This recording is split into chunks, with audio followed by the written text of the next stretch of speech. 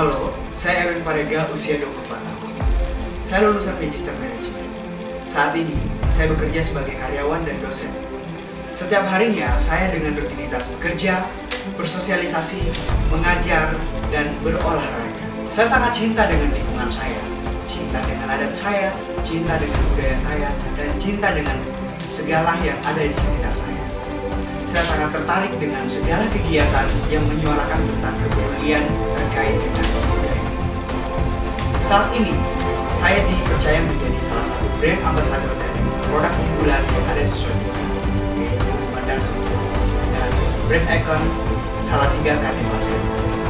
Dengan semangat dan kemampuan yang saya miliki, saya bisa mewakili dengan baik provinsi saya, Sulawesi Barat, dalam pemilihan Mister Tourism Indonesia 2018.